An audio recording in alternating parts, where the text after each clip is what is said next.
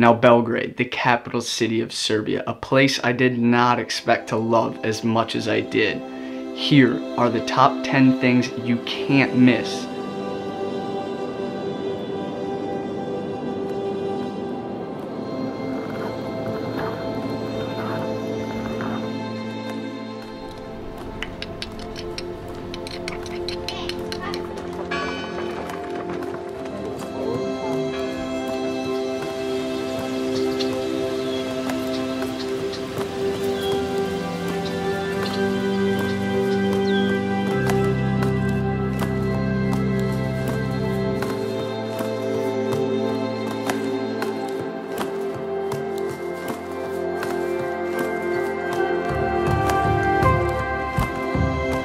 Salute man, welcome to Serbia.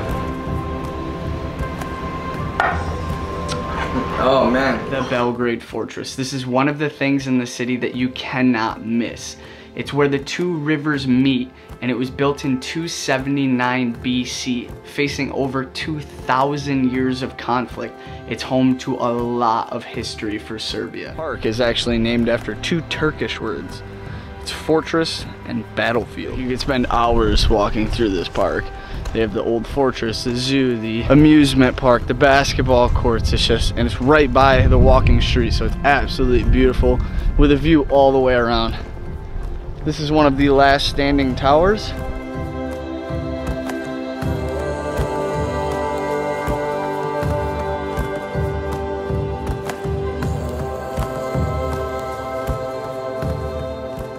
Bunch of different police officers walking around with their coffee and stuff.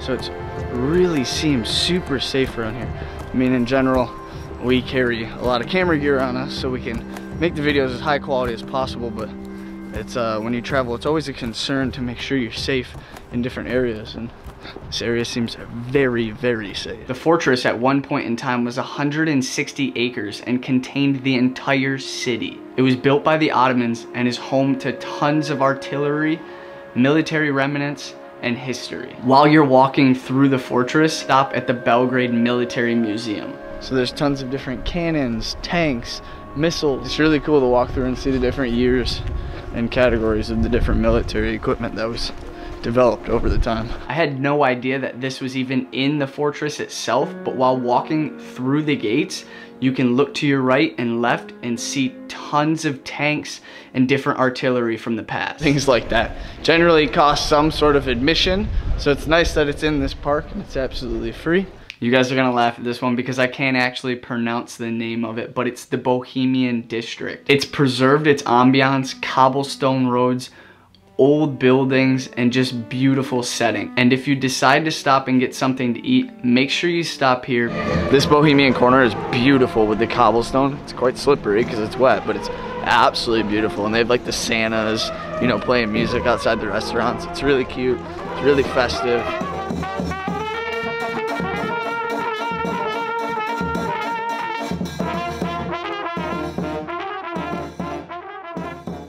So we did find a place that's open. It's called Three Shishera, and they have tons of incredible options.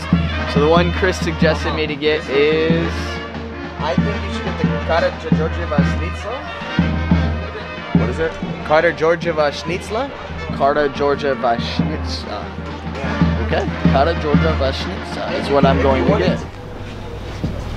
Bomb. Thank you. Thank you. rolled pork pork uh, steak with bake with uh, kaimak and bread. Awesome. Pleasure, enjoy. Thank you Thank so you much. so very much. So he got sarma.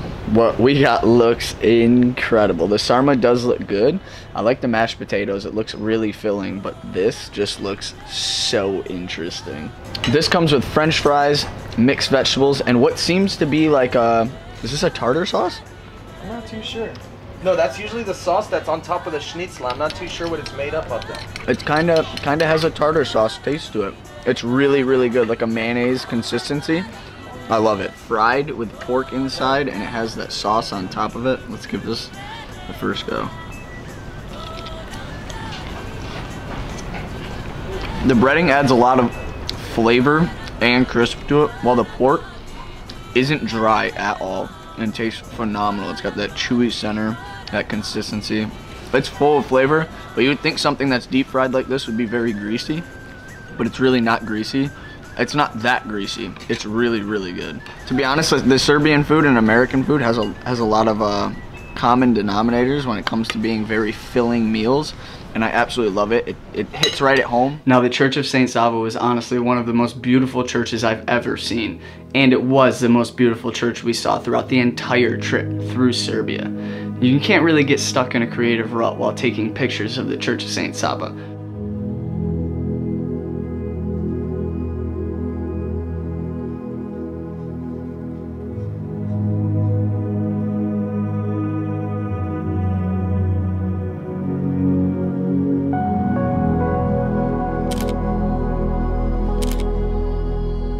But if you do, you can take the Skillshare class, travel the world, and reinvigorate your creativity on the road. I love how they break down how to find sources of creativity while you're traveling. If you're uncertain about what's next, creative challenges and productivity classes can be a great way to help structure your time and set up achievable goals. At a time when so many important conversations are happening in the world, your voice is more essential than ever. Unlock creativity for social good. Skillshare offers membership with meaning. Connect with the support of fellow creatives and enter a community of encouragement, communication, and inspiration. For the first thousand people that click my link in the description box will get a free trial of the premium membership, and after that, it's only $10 a month. Now, while you're walking through the streets of Belgrade, I'm sure you're gonna walk down the main shopping strip.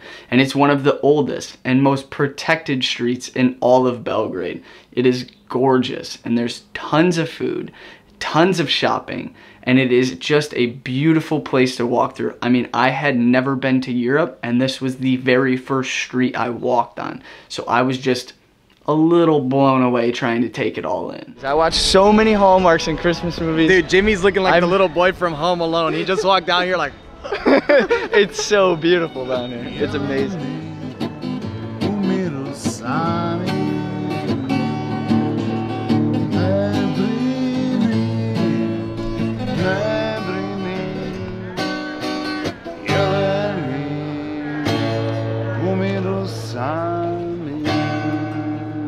The Gardos Tower, also known as the Millennium Tower, opened in 1896 to celebrate a thousand years of Hungarian settlement. Now, when we visited the tower, it was raining, it was cold, and it was kind of snowy.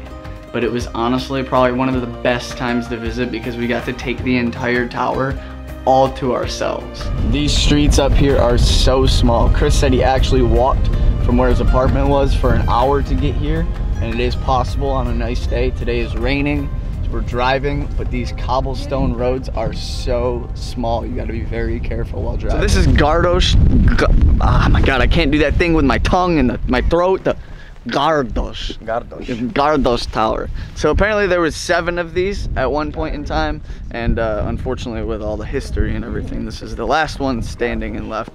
And you can actually see how the wall has been kind of destroyed in this one. This is a very significant landmark in history for this city. And it's something you definitely want to see. Hopefully you get a better day, but kind of nice to have a day like today because there's nobody here, not a single person. We have the entire tower to ourselves.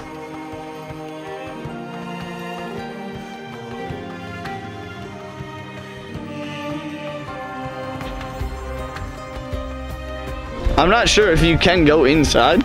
But uh, Chris had said he's seen people inside, like pictures of people inside. The tower's, of course, closed, like everything else. It's locked down, but if you could get inside, that'd be pretty cool. Now we had not only the tower, but the cafe right next to it. If it's cold, if it's hot, make sure you stop at the cafe right next door because you can walk over one of the walls of the tower and you get a gorgeous view over the city and you can sit by the fire and have a nice hot cup of coffee or hot cocoa.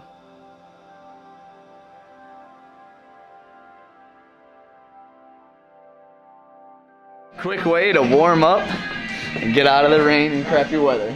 Dude, this place is nice. It's a nice vibe.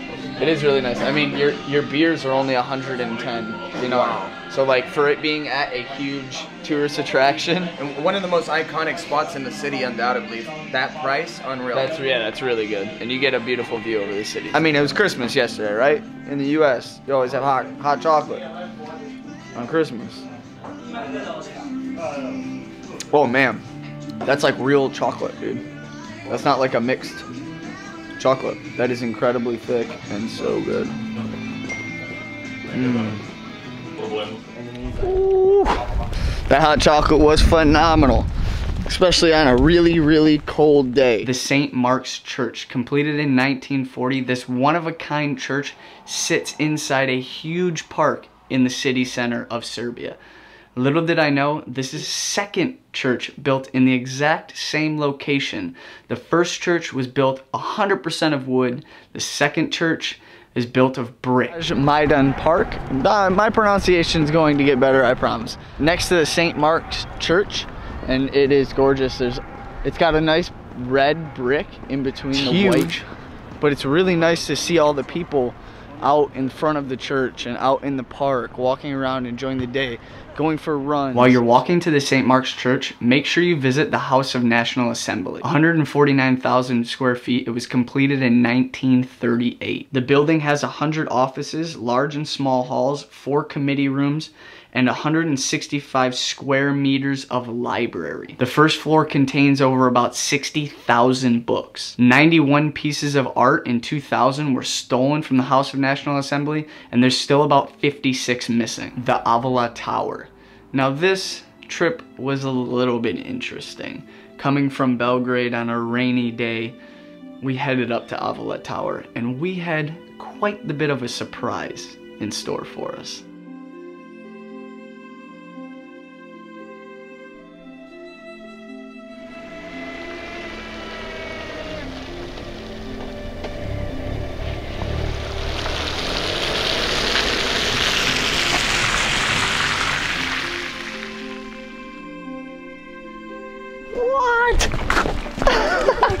this is so it's sick. No way. I never expected this.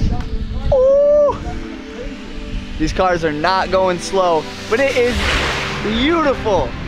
We just drove all the way up this mountain. It's snowing. Finished in 1965, but destroyed in 1999. The tower's reconstruction started in 2006. If you head up to the Avala Tower on the right day, you'll get a gorgeous view.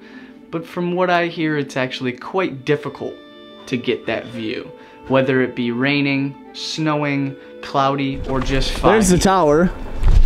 I mean, it's supposed to be an absolutely gorgeous view from the top of the tower, but unfortunately, I don't think we'll pay to go up because I can't even see the base of the tower, let alone from the top of the tower.